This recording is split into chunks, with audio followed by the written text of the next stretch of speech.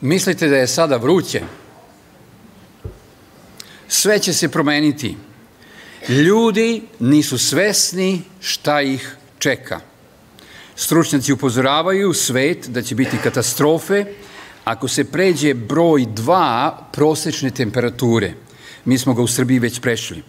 Ovo je pisao portal, dakle digitalne internetske novine, B92 na osnovu izveštaja stručnjaka za klimatske promene koje je objavio Politico, takođe portal u Briselu koji izveštava šta Evropska unija zaključuje i stručnjaci kada daju svoje izveštaje. To je pisano 6. 6. jula ove godine, ne tako davno. I nastavlja. Vodeći svetski klimatski stručnjaci upozoravaju da će čovečanstvo biti pogođeno nestašicom vode za piće, sušom i požarima, stotinama miliona izgladnelih, poljoprivreda na jugu Evrope bit će desetkovana, požari, nasilje, nesanice, bolesti, gladi, poplave u porastu. To je scenario klimatskih promena. Severna Evropa će se boriti sa poplavama, požarima, dok će Južna Evropa biti bukvalno zakucana sa sušama, pregrejanim gradskim sredinama i uništavanjem brojnih poljoprivrednih kultura, što će Evropu dovesti u kolaps. Područja oko ekvatora će postati neuslovna za život s previsokim temperaturama. Ako Evropa misli da je bezbedna jer će tamo negde biti gore, vara se. Navodi portal Politico koji je zvaničan glas Evropske unije. Celokupna populacija Evrope uopšte nije svesna ovog problema. Mislim da je dovoljno. Kada bi vam pročitao celi članak, ne bi mogli da ručamo danas. Na krajnjem severu Evrope, to je Svalbard. Tamo sam bio, imao sam prilike da budem. Da ima oko 3000 ljudi. I tamo, su, tamo je veliki rudnik iskupavanje najkaloričnijeg uglja i takođe najveće postave satelitskih tanjira i ostale aktivnosti. Tamo je leto u julu i augustu plus 6. Ove godine u junu je izmereno 21,7. Razumete koja je to razlika?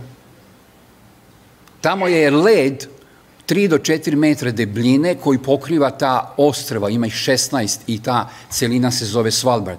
Ako bi nastavili dalje, vi idete ledom i dolazite do severnog pola, to je stvari tačka.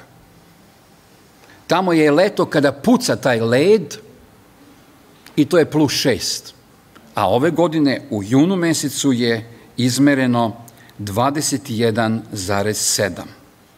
Takođe, Sibir, opet severni deo, u Sibiru je izmereno u gradu Verhojansk 38 stepeni. Nikada u istoriji, kada se merilo iznad te polarne linije, nije izmereno 38 stepeni kao i sa leve strane Evrope gde je Island, isto polarna linija, gornji deo Islanda je u snegu, a donji deo nije jer prolazi golska struja. A to se poremetilo. Šta se poremetilo? Budući da se Artik topi i ti glejčeri, ja sam lično to video kad sam bio na Svalbardu i išao sam skuterom minus 52 zima. I dolazimo do tog čuvenog glejčera, velikog, koji uvek u vestima kako se topi i da je to strašno. I tako vidiš samo vum, gromade padaju. A napolju zima, međutim, to je dovoljno povećena temperatura da se topi. Ta hladna voda teče pored leve strane Grenlanda i udara u golfsku struju. A gorska struja koja kreće od Meksika i prolazi ispod Grenlanda, Islanda i zato Island on je deo nema snega jer je uvek nešto mekano vreme. I onda do Engleske i onda kreće gore pored Norveške i udara u Svalbard koji sam spomenio, zato u ovim krajima severnih delove Evrope ima života. E sad zamislite kada hladna voda otopljenih glečera dolazi na golfsku struju i hladije, golfska struja više neće biti golfska struja koja daje uslove života, dakle da toplije bude i dolazi do poremećaja. I to nije sve. Oluje projektovane u novoj studiji, pazite, ja čitam iz članaka stručnjaka, ne tabloida i žute štampe, nego stručnjaka i zvaničnici to objavljuju. Oluje projektovane u novoj studiji kreću se još brže od one koja je potopila, potopila Nemačku, Belgaju i Holandiju ovih dana što smo gledali. Znači, dolazi još i gore, još ekstremnije. To su samo, eto, malo ukratko zaključki, zaključci velikog istraživanja Evropske unije koji je analizirao naučne radove i intervjue sa klimatskim stručnjacima. Samo da vas podsjetim, Evropa je doživela toplotne udare. A, 2003. godine evropski gradovi skuvali su svoje stanovnike i u avgustu je 80.000 ljudi umrlo. 2003. Međutim, ovo je pojačano. Radi se o tome što preti da milioni ljudi umro od vrućine i žege. Ovo više nisu udarne vesti, već ljudska kriza, ljudska tragedija.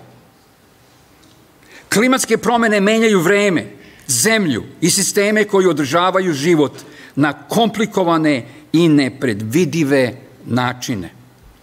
Upravo te promene koje su nastale, klimatske promene, su izazvale sledeće posledice. Ukratko. Nedostatak vode. Pijaće vode. Nedostatak hrane samim tim a onda kao posledica dolazi glad i pomori. Velike vrućine i žege, veliki požari po celome svetu. Znamo to i svesni smo. Uvek je toga bilo, ali ne u ovom kvantitetu, u ovoj količini, globalno, na celome svetu. Artik se topi zbog toplode, Biće poplave, mnogi gradovi će potpuno biti pod vodom. U tom izveštaju Evropske unije se kaže da će severni krajevi, uključujući na primjer Englesku, mnogi gradovi biti potpuno pod vodom. Vi ste čuli ljude koji kažu, evo tu sam bio, sve suvo bilo 10 minuta i došlo je do pojasa. Tako brzo dolazi voda. To nije evo stiže, imamo vremena. Za desetak minuta količina vode koja dosegne do pojasa ljudi a, rast psiholoških problema. Istraživanja su pokazala da kada je temperatura prešla 34 stepena, znači kada je bilo više od 34 stepena, povećana je stopa nasilja u porodici, na ulici i povećan je broj samobistava. E, treba da vas osvjedočim za to. Jeste videli u vestima svaki dan neke tuče na ulici? Idu autima, nešto se porečkaju, izađu napolje i tuku se. Videli ste? Ovih dana tuku e, e, žene ljudi na ulici, tuku se ljudi, nasilje, povećanom temperaturom preko 34 stepena dolazi do tih psiholoških promena. Takođe, vrele noći su donele nesanice. Možda ste se i vi suočili sa time. Ne možemo da spavamo, a i kad spavamo sve u nekim segmentima, često se budimo. A nesanice povlače sa sobom sledeće posledice. Pad imunog sistema i pojava mnogih bolesti. Ne možete da razmišljate logično, pa donosite odluku da se tučete. Upadate u različite rizične situacije. Dolazi do odumiranja moždanih ćelija. Počinjete da zaboravljate. Kratkotajna memorija je ugrožena. Zbunjeni ste, brže starite, povećava se mogućnost za pojavu kancera. Upravo kao posledica nesanice, a nesanica je kao posledica velikih vrućina i ne može da se ohladimo, ne, ne možemo da spavamo. Takođe, stručenici nas upozoravaju i na činjenicu da najviše ljudi u Evropi živi u gradovima, a gradovi su postali toplotne bombe. A takva mesta po pravilu su toplija za 5 stepeni od seoskih sredina. Međutim, stručnjaci kažu da neće biti samo topliji 5 stepeni, nego će gradovi biti topliji između 5 do 10 stepeni više nego seoske sredine. Zbog betona, asfalta. A ti gradovi, ta mesta su onda ne samo toplotne bombe, nego grotla u kojima ljudi brže umiru i ne mogu da izdrže te napore vremenskih promena. A vi znate da se ljudi sele u grad da bi našli posao i gradovi postaju sve veći i veći. Samim tim veći rizik od smrti je upravo u gradovima. Ja sad ne pozivam da se svi selimo u sela, ali definitivno su ovo činjenice i to naučnog e, rada i istraživanja ljudi koji znaju te stvari. E, klimatske promene povući će kišnu zavesu širom sveta. Stručnici kažu da će severna hemisfera biti vlažna i stalno u kiši. Nepo, na primjer, naša Evropa, severni deo Evrope, poplave, kiše, kiše, kiše, poplave. A, južni deo Evrope ili ta južni deo sveta će imati velike suše. I to smo mi. Žege. A ljudi koji žive oko ekvatora neće više imati uslove za život. Imao sam priliku da posetim i te zemlje koje su blizu ekvatora.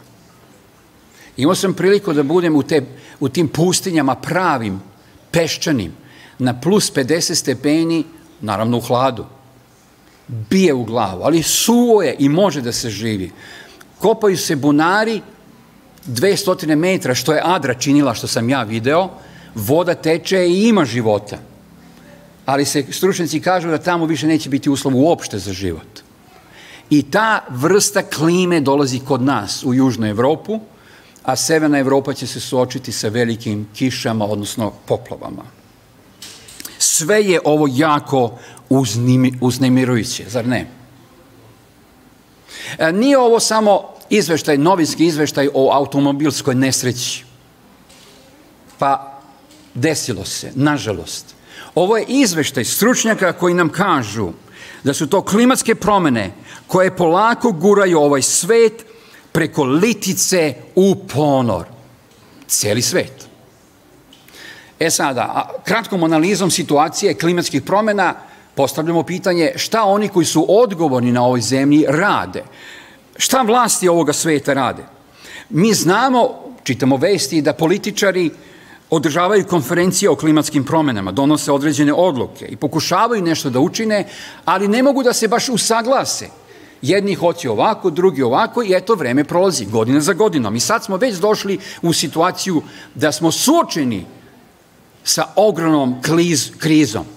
Kriza koja u svim novinama svaki dan ne upotrebljava izraze katastrofa, velike nedađe, nego biblijske izraze, ste primetili?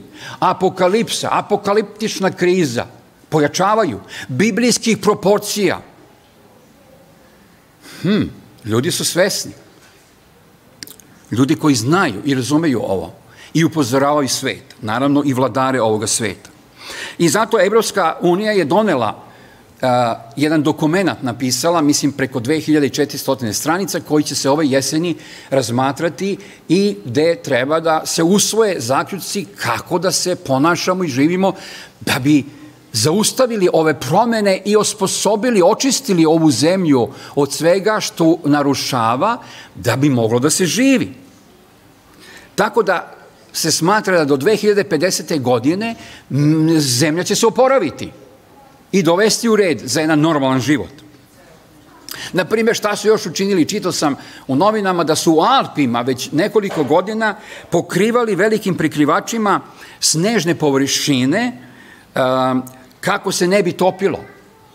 Jer se topi, a to nije normalno.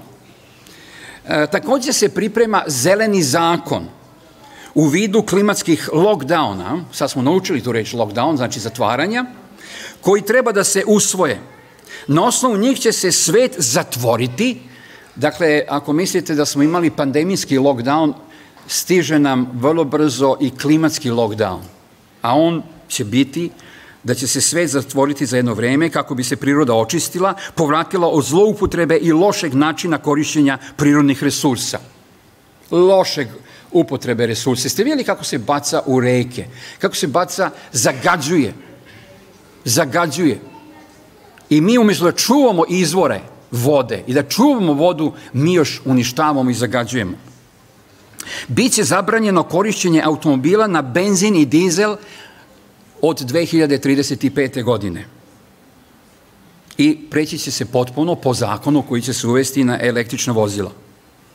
A da bi imali električna vozila trebamo litijum, a da bi dobili litijum vi znate kako mora proces iskopavanja, a to je druga vrsta uništavanja prirode. Opet jedan problem. Zabranit će se konzumiranje crvenog mesa, jer stočarstvo i proizvodnja crvenog mesa isto ugrožavaju um, resurse i klimu. Prestanak kopanja fosilnih ruda, to znači uglje i nafte, mora će da se prekine. Uveće se ekstremne restrikcije korišćenja energije kao što su struja, gas, a takođe i vode.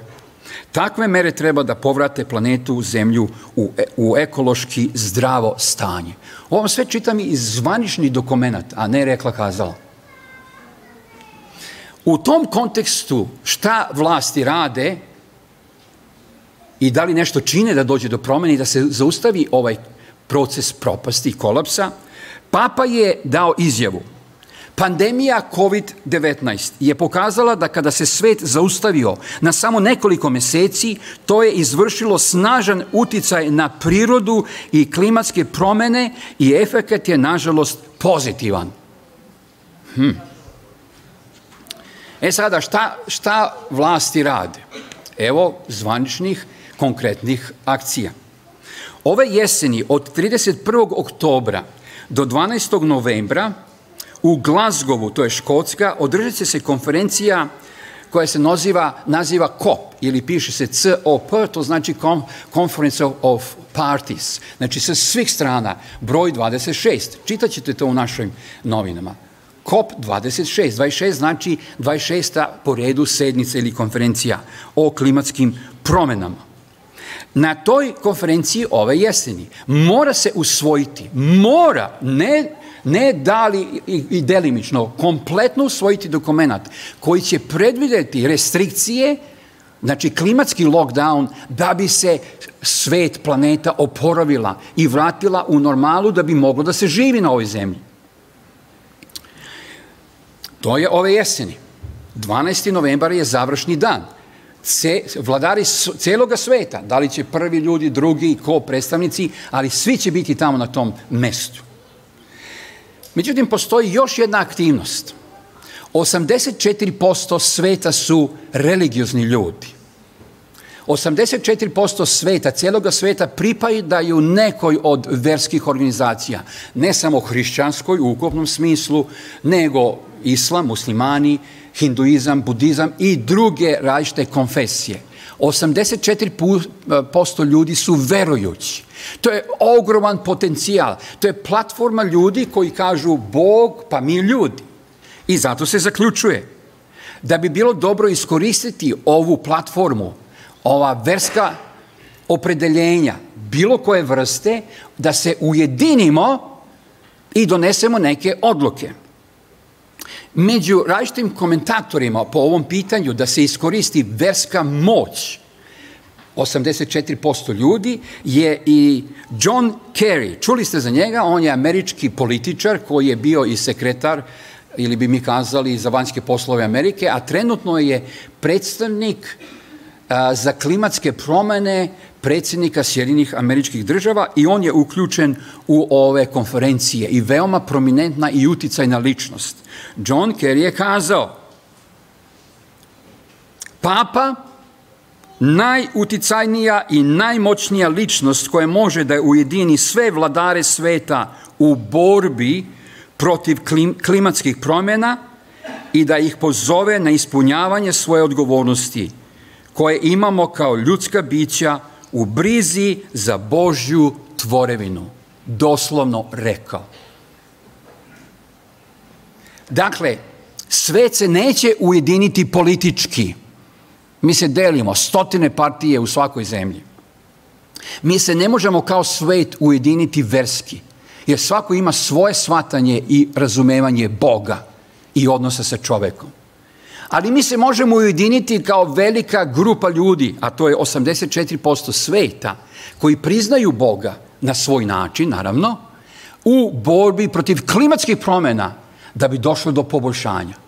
A u toj borbi, kaže John Kerry, najbolje nas može voditi najuticajnija ličnost, najmoćnija, najmoralnija, ja lično ga slušao i prevodio to što je govorio, a to je papa. I zato sledeća aktivnost ove jeseni će biti sastanak u Vatikanu.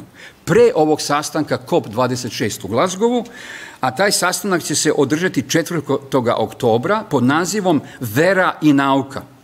Okup, okupit će se 40 verskih vođa, znači jačih denominacija i 10 stručnjaka za promenu klime.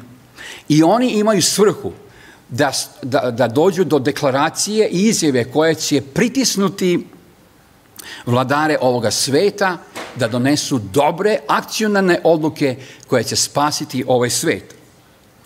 Posle, u, u pripremi tih, tog sastanka 4. oktobra u Vatikanu, na jednoj konferenciji za novinare, sekretar za odnose sa javnošću u Vatikanu, nadbiskup Paul Gallagher, je rekao sledeće.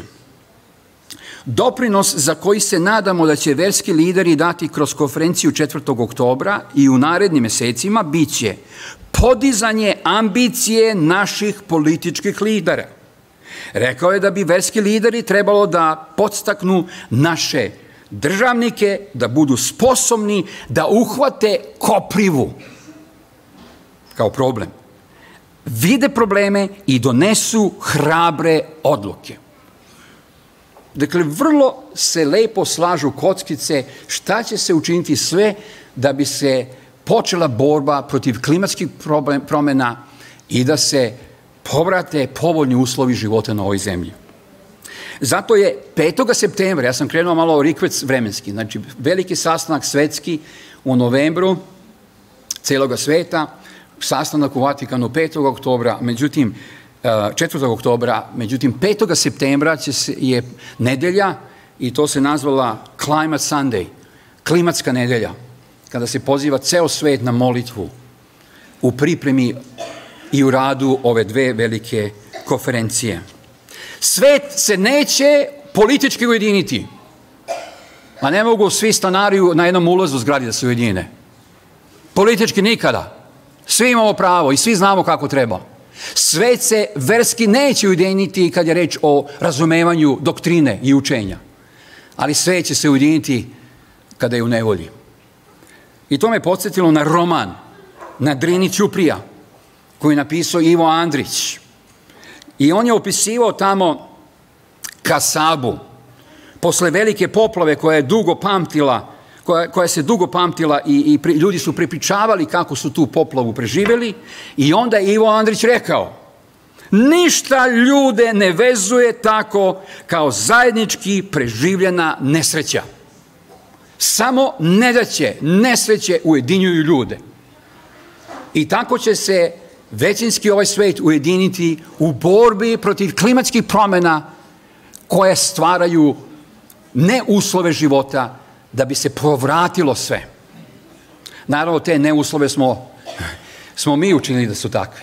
Nebrigonom, eksploatacijom resursa o, ove planete. Nismo zadovoljni da imamo malo, nego nam još treba.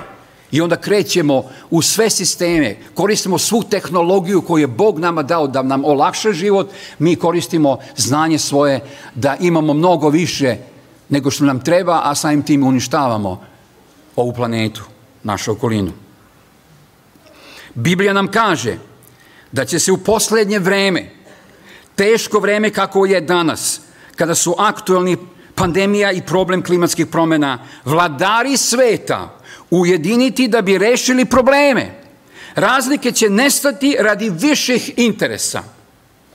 A ovo me sve podsjeća na proroka Jovana u otkrivenju koji je rekao sledeće. Namera im je ista – da predaju svoju silu i vlast zveri. Oni će ratovati protiv jagnjeta, ali će ih jagnje pobediti, jer je ono, on je, jer je ono gospodar nad gospodarima i car nad carevima.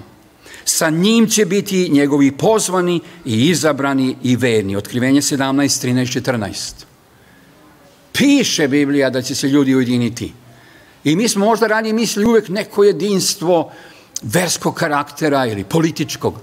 A ono nam pandemija, dakle virus, pokazuje da se svet ujedinjuje oko borbe za život, za zdravlje, dakle virus problem, pandemija i sad drugi veliki problem koji stiže, a to su klimatske promene, uslovi života, pogoršani i treba da se ujedinimo. To jedinstvo ima za cilj poboljšanja, ali to jedinstvo ima za cilj i nečega što pismo kaže da se ujedine protiv jagnjeta i njihovih sledbenika, njegov, njihovih sledbenika. Kada se sve nacije sveta ujedine, one će predati svoju moć i vlast zveri. Tada će se ispuniti proročanstvo da će se rana isceliti koja je bila zadata 1798. godine, kad je Napoleon zarobio papu Pija VI. I tada rana će se celiti, a vidite kako se priprema da se zaceli, i tada će joj se dati vlast i autoritet ka punoj svetskoj dominaciji. Ne da vlada verski, nego da vlada u rešavanju nesreći problema sa kojima smo se suočili. Tada se vraćamo, upravo u tom trenutku, u srednji mračni vek, vek jednoumlja. I tada, ako misliš drugačije, nećeš moći ni kupiti ni prodati. Imaćeš, ali nećeš imati. Imaš penziju, imaš platu, stoji tamo na računu, a ne možeš da je koristiš, jer si etiketiran, koji nisi u skladu i harmoniju sa svim propisima koji će se tada tog svetskog lockdowna primenjivati. E sada, šta Biblija kaže o suši? To je osnovna tema. Suša, žega. Šta Biblija kaže? On pretvara reke u pustinju, izvore vodene u tlo sparušeno, plodnu zemlju slatinu zbog zla onih koji na njoj žive. Kad čitate Bibliju od početka do kraja, spominje se vrlo često suša, žege, nevolje, suša koja ziva gladi jer nema hrane i samim tim pomori. I uvek svi biblijski autori, proroci Božji, imaju konotaciju suše i žege sa kad je voda, onda su blagoslovi, kad je suša, onda je proklestvo. Blagoslovi su ako narod, ako vladari slušaju Boga i njegovo upustva, i poklone se Bogu, onda su blagoslovi u kiši, a ako se otpade i narod više ne sluša Boga ili vladari, kraljevi, onda dolazi neminomno posledice i proklestvo, a to su suši i samim tim gladi. I tako stoji u pismu i kaže, ako poslušate zapovesti koje danas zapovedam i budete volili gospoda Boga svoga i služili mu svim svojim srcem i svom svojom dušom, on će davati ranu i poznu kišu vašoj zemlji u pravo vreme, pa ćete sabirati svoje žito, svoje vino i svoje ulje, davat će vam travu na vašem polju za vašu stoku, te ćete jesti i nasititi se. Pazite da se ne prevarite u svome srcu, pa zastranite služeći i klanjajući se drugim bogovima. Tada će gnev gospodnji planuti protiv vas. Nebesa će se zatvoriti i neće davati kišu. Zemlja neće davati svoj rod, a vi ćete brzo nestati sa dobre zemlje koju vam gospod daje. Zato usadite ove moje reči u srce svoje i u dušu svoju Privežite ih kao znak na svoju ruku. Neka vam budu kao zapis među očima. Poučite njima svoju decu, govorite im o njima kad sediš u kući, kad ideš s putem, kad ležeš i kad ustaješ. Međutim, neposlušnost kroz čitavu istoriju, neposlušnost čoveka kao pojedinca grupe ili čitavog naroda, je dovodila uvek taj suprotan efekat i piše u Bibliji, nebo iznad tvoje glave bit će bakar, a zemlja pod tobom gvožđe. Gospod će učiniti kišu sa vaše zemlje prašinom, a pesak će se spuštati na vas s neba sve dok vas ne zbrišu. Kao posljedica čega? Neposlušnosti. Kome šta? Neposlušnosti osnovnih prirodnih zakona koje je Bog dao da se poštuju. Prirodnih zakona. O poštovanju i čuvanju svog tela U Bibliji stoji da smo hram Svetome duhu. Ne poštujemo. Ne poštujemo i ne čuvamo prirodu. Ekologija je zadnja stvar o kojoj se priča i reguliše. U nekim zemljama naravno bolje, u nekima lošije, negdje ništa, ali u principu u ukupnom smislu cela planeta tone i propada. Jer se ne čuva, ne poštuju zakoni koje je Bog dao, ne poštuju se zakoni odnosa među ljudima u društvu. Vlada nemoral i bezboštvo. I to je popularno. Što više lažeš, sve si popularniji. Što je gluplje, sve je popularnije na društvenim mrežama. Dakle, za nacionalnu katastrofu u istoriji naše planete, a koju beleži Biblija najbolje kao istorijska knjiga, pored što je Božja knjiga nama, stoji da je uvek nacionalna katastrofa rezultat neposlušnosti ljudi prema Bogu i njegovim zakonima, ili celog naroda, ili vladara. I uloga proroka je bila da identifikuje koji je, ko je, koji je to razlog da bi se narod pozvao na pokojanje.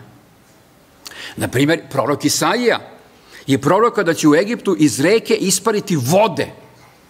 Korita će rečna presahnuti i presušiti. Usmrdit će se prokopi, usahnuće rukavci egipatski i presušit će.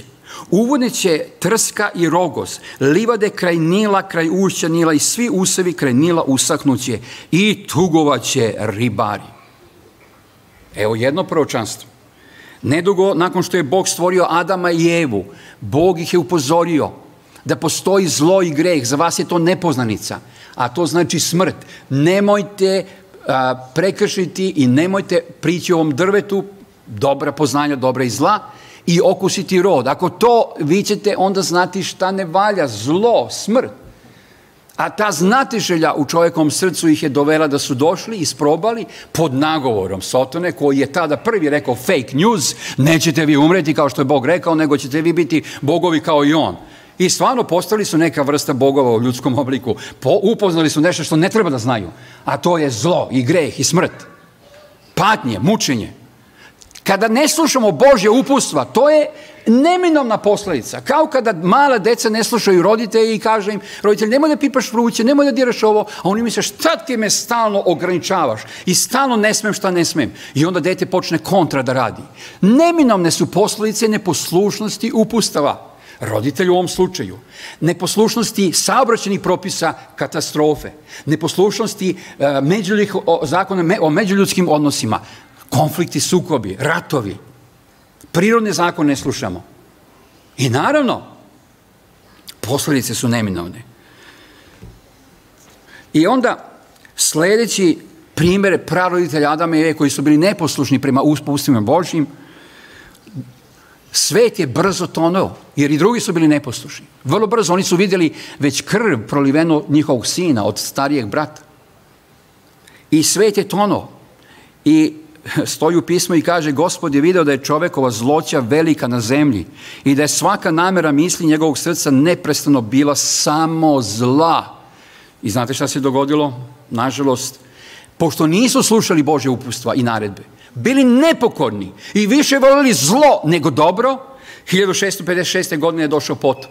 Voda je morala uništiti tadašnji svet koji se smatra je bio oko 12 milijardi ljudi, jer nije bilo okeana. Samo za 1650 godina je svet otišao ovako nadole od ljudi koji su bili mnogo savršeni nego mi u svojoj konstrukciji fizičkoj, mentalnoj i, i, emotivnoj. Tako su brzo propadali, jer su bili neposlušni Božjim upustvima. U današnje vrijeme većina ljudi je usredsređena sebe na svoj posao, zabavu, situacije, e, sticanjem maternih sestava, što više da imam, koliko više, još više, nema kraja. Malo ko razume ili pravi bilo kakvu vezu između velikih klimatskih promjena i drevnih biblijskih proročanstava.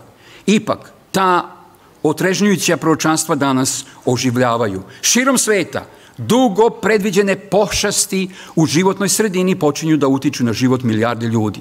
Čini se da se približavamo kritičnom trenutku u istoriji ljudske civilizacije. Onom koji je jasno spomenut u Svetome pismu. Kada su Isusa Hrista pitali šta će biti znak tvoga dolaska i kraj veka, znači kraj sveta, a Isus je rekao ratovi, glasine o ratovima, glad, bolesti, zemljotresi u raznim mestima i onda kaže i sile nebeske će se pokrenuti, jedan prevod kaže uzdrmati. Sile nebeske su se pokrenule upravo u naše vreme. Uvek je bilo zla i nedaće, ali nikada u ovoj razmeri i količini, nikada na ovaj način da ljudski rod civilizacija ne može da opstane. Prorok Jojno nas podsjeća i rekao je da će gospodnji dan, Hristov povratak, doneti katastrofe bez presedana, uključujući razarajući period suše, u kome, kaže prorok Jojilo, žito propada, nova vinova loza suši, se suši, žetva na polju je stradala, svo poljsko bilje je uvenulo. Jao, kakvolih dana, jer je blizu dan gospodnji, što dolazi kao pustošenje od svemoćnoga. Prorok Jeremija kaže, um, o nadolazećem sudu koje bi uključivalo suše, jer je zemlja presušila, jer u zemlji nije bilo kiše, nema trave, nastala je glad. Biblija puno govori upravo o sušama, o, o žegi, kao rezultat i posledica nepokornosti i neposlušnosti stvoritelju koji je stvorio ovu planetu i uslove života na njoj. Kazna za idolopoklonstvo, odbacivanje Božih upustava, I njegove istine je bila suša i glad. I mi sada vidimo da dolazimo do te završnice, klimaksa neposlušnosti i e, nepovoljnosti života na ovoj zemlji. Danas su svi znaci kao vreme Noevo. Bezakonje se umnožilo, žderanje, pijanstvo, lična zadovoljstva, nemoral, uništavanje porodice, mešanje u genetiku. A laž je postala istina. A istina je odbačena jer nije više bitna. Tradicija puna poganstva, verujemo u Boga, ali sve poganština, je važnija od Boga i Biblije. Korupcija je deo svakodnevnog života, tlačenje slabijih, nasilje, ratovi. I u celom tom kontekstu sadašnjega vremena apostol Pavle pre 2000 godina opisivajući poslednje dane – ne kraj vremena, nego poslednje dane, to znači naše dane, on kaže, ovo znaj u poslednjim danima nastaće teška vremena. Ljudi će naime postati samoživi, srebroljubci, hvalisavi, nadmeni, hulnici, neposlušni roditeljima, nezahvalni, nesveti, bezosećajni, nepomirljivi, ogovorači, neobuzdani, surovi, mrzitelji dobra, izdajnici, lakomisleni, naduveni, koji više vole zadovoljstva nego Boga. Oni imaju obličje pobožnosti, ali su se odrekli njene sile. Prvi put kada je Bog morao da donese sud, nepokornosti prema ljudima koji su nepokorni njegovim upustvima i zapovestima, to je bio potop, uništenje vodom. Drugi put, Bog mora da kazni celi svet zbog neposlušnosti vatrom. I u pismu stoji da će oganj sa neba pasti i da će uništiti ovaj svet.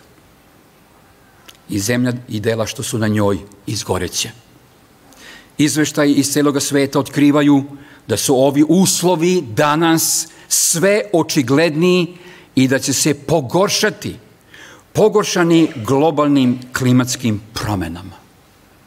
A mi, šta mi radimo? Ja. Ne vlasti, ne udruženja, nego ja. Šta radim?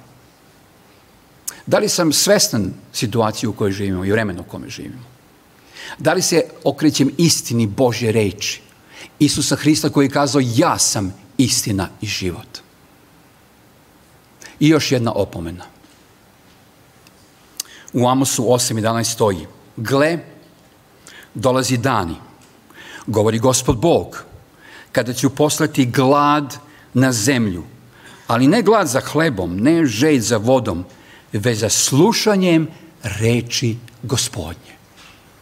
U poslednje vremena, kada bude kriza apokaliptičnih razmera, a čitamo u novinama da je to već sada, Ljudi će trčati tamo amo tražeći ono što neće moći da pronađu i pitaći astrologe i horoskop i gledati u dlan i vračare i gatare, jurići na sve strane da čuju odgovor na mnoga pitanja. Ali neće moći da naću. Čovečanstvo, prezurići Boga, požnjeće ono što je posejalo. Molimo se da nas Bog danas upotrebi za objavljivanje istine generaciji koju je Sotona prevario i oslepio za istinu. Interesantna stvar, svi misle da znaju istinu. Svi su danas stručnjaci, svi smo medicinari, lekari, specijalisti, svi, svi znamo istinu, a ne znamo da smo u mraku. Budimo svetlo svetu koji je u tami i objavimo slavno evanđelje milosti o spasonosnoj ljubavi Božjoj. Mi ne možemo nikoga da prisilimo da sluša poruku za koju nije spreman da čuje. Ali zato ne treba da pocenimo snagu semena koje sejemo. Zato danas je vreme senja istine Bože reči. Amin.